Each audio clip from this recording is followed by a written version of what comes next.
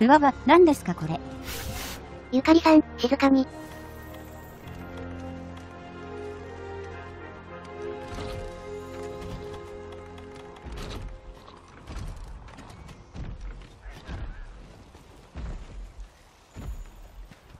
バレましたか？いいや、今見たのはゆかりさんだけ。私たちはすぐ絶をしたから、バレてないはずだにょん。そういえば、このフードは？波乱様に頼まれて改造しました。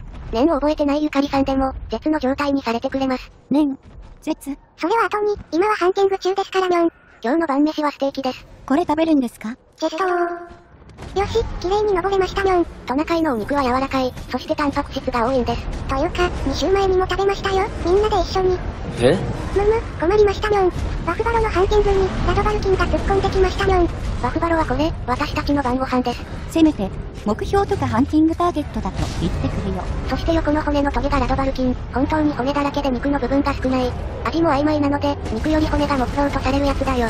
時間があれば両方倒して肉と骨を集めたいんだが、時間的に今日は無理っぽいにょん。あ、ヨウムさん、ここに三つ虫設置します。うん、ありがとう、ハヤンさん。それで、どうするんですか？この状況ならハンティングは難しいのでは？いいや、むしろ2匹が戦い、体力が減るのを狙ったり、物理的に衝突させ、両方に大きなダメージを上げるのも可能だよ。衝突？私の場合、念能力で作ったこのデュエルディスクで、カードを使うのよ。はい。あ、そのデュエルディスクは私の能力で作られたものです。見ていればわかります。永続魔法、波動キャノンを発動。このカードは発動して、自分のスタンバイフェーズにカウンターを1つ乗せるにょん。そしてこのカードを墓地に送ることで、貯めたカウンターの月、1000ポイントのダメージを上げるにょん。まさか、何千のダメージも与えることができるのか。いいえ、ここでは別の効果になりますが、使いによっては別の効果も使えます。例えばこれ、な、何が起こったの ?2 匹のモンスターがぶつかって、両方ノックダウン。クラッチクローっていうものを使い、モンスターにくっつけ、カードを頭に向けて発射すれば吹っ飛びます。その時に壁にぶつかるとアイテムを落としながらノックダウン、モンスター同時にぶつかると両方その効果を与えます。か、カードを打つカードを打つためにはスリンガーの弾が必要ですし、それにカードの力を入れて使うシステムですけど。まったく、尻尾が長いにょん。バフバロなら確か、角と両腕を破壊できるし、尻尾も切れるはずです。私が持ってきたヘビーボウガンには、断裂弾はいないけどにょん。なら武器を変えるしか方法はありませんね。あ、お互いに戦い始めた。こういう時には、状況を見守るのも方法の一つだにょん。この後に、ゆかりさんもやるのですから、よく覚えましょう。いやいや、私は、晩飯のショッピングに付き合うって言っただけで、モンスターを狩るって一言も言ってないよ。同じ話でしょう？全く同じじゃねえよ。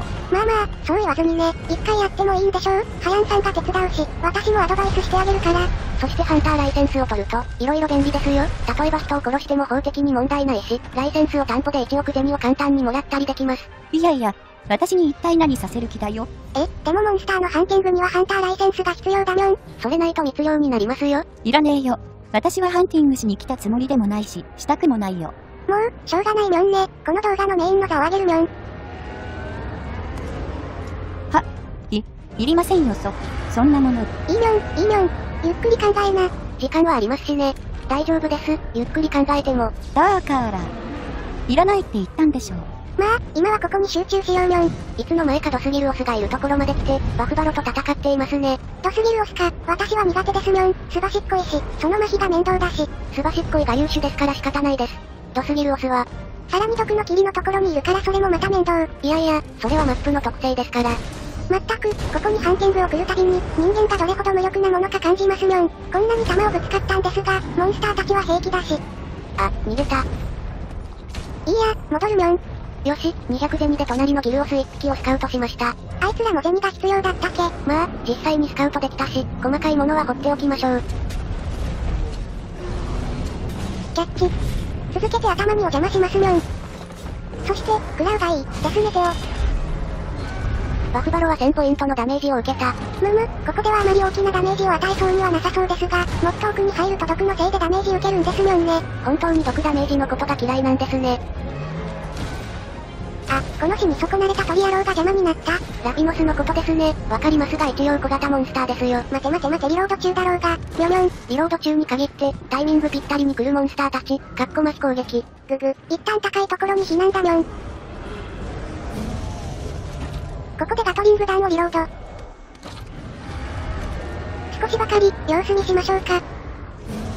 お、ここに来る様子ですね。これは登るチャンスだにょん。あ、立っちまった。これは一方取られましたね。そして、ドスギルオスも大きいものを食われた模様ですね。もう、一応立て直すとするかにょん。あ、やばいです。にょにょにょん。なんとか生き残れましたね。ほら、ミツムシです。No!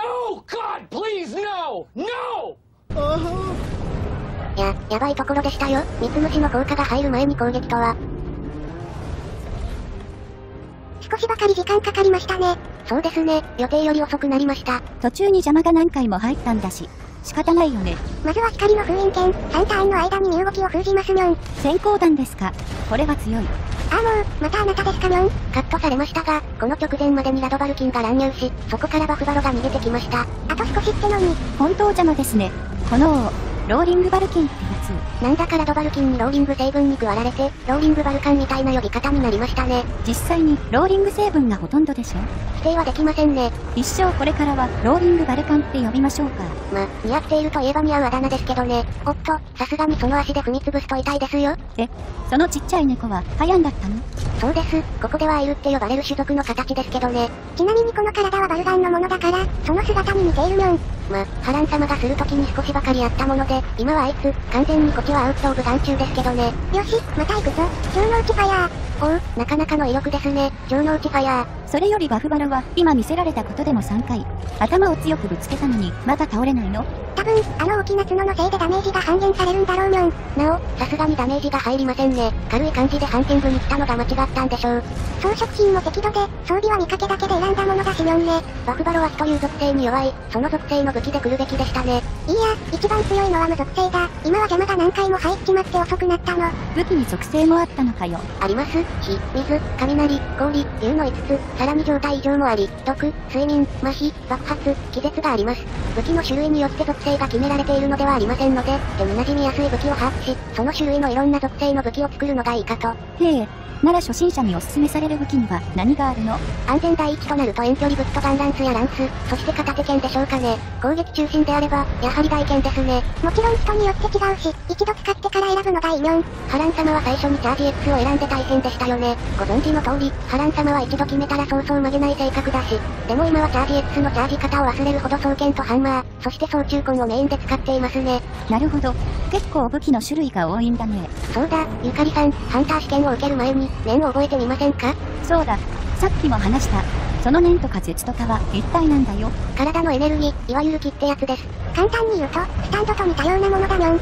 私たちは一度、スタンド能力を使ったことがあるから、コツをつかむのがたやすい技だにょん。今は波乱様の力で、スタンド能力がここの世界では封印しているから、出るのは気、すなわち念が出るはずです。スタンド能力と同じ感じか。そして手にその念を集中し、このカップに集めるイメージをやってみましょう。このカップに、水に式っていう、念の性質を調べるテストです。こんな感じかしら。ほう、水の色が変わった。水の色、放出系だにょん。念を集めて撃つことがたやすい性質ですね。それを目標で少しだけ訓練をすれば、ハンター試験なんか簡単にクリアするはずです。そ、そうか。ちなみに私は具現化系、業務さんは変化系です。業務さん、わかったにょん。こいつ、そろそろだと思っているし、私一人だけで十分だにょん。ならゆかりさん、私と少しばかり、訓練しましょう。晩飯の前には終わる簡単な訓練ですから、大丈夫です。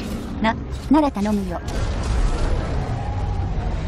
ふふ、これでハンターがまた一人、増えるにょんね。